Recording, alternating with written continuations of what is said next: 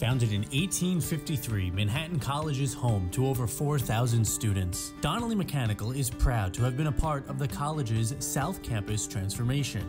The new Higgins Engineering and Science Center is a three story, 30,000 square foot building that will contain 14 ultramodern labs. It is set to open for fall 2020 classes. The new structure is attached to the college's current engineering building, Leo Hall, with all of the new classrooms, advanced labs, and public space, the building will be properly heated and cooled with best in class equipment, including two new cooling towers and four air handling units.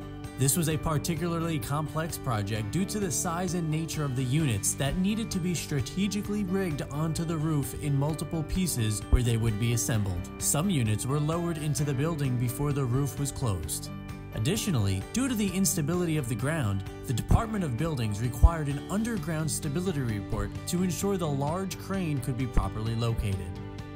Proper pre-planning and the use of BIM allowed us to expose and fix conflicts before the rig and installation were underway. This project required immense coordination between trades. Donnelly expertly managed a full day of complex rigging and assembling. Tight deadlines and a changing scope of work made this project a challenging one, but not impossible.